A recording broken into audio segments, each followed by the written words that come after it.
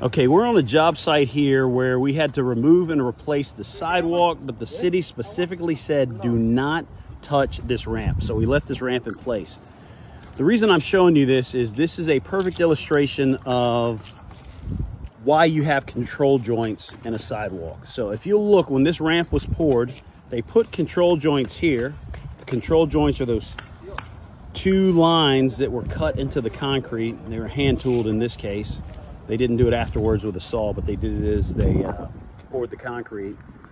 And they put the control joints here. The purpose of the control joints is it won't prevent the concrete from cracking, but think like a checkbook, uh, which not a lot of people use anymore, or perforated paper, where you have that perforation. It's still, the paper is still connected to the other side of the paper, but when you pull it, there's that line that's already there, so that's where it rips.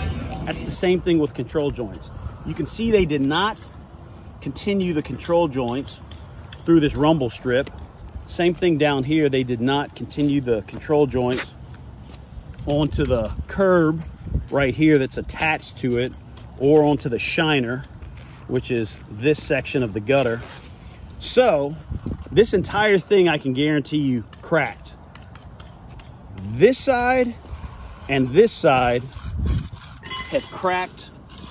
They've broken apart from each side just a little bit, but you can't see it because it's broken in the control joint. Here where you don't have the control joints continued, you end up with this random ugly cracking. So that's the purpose of control joints. This is a perfect illustration for it. That's why you want to put control joints in your sidewalk or any concrete, any flat work when you have runs of longer than 10 feet in any direction. So those are the control joints you can see here, here, here. Right now, Junior is about to cut in these control joints. We've cut them in once, but now we're just going over them again to make sure that they're deep enough.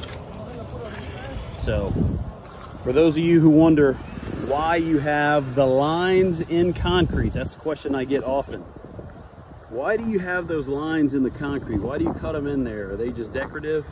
Sometimes they're decorative, but generally you need to have them for a functional purpose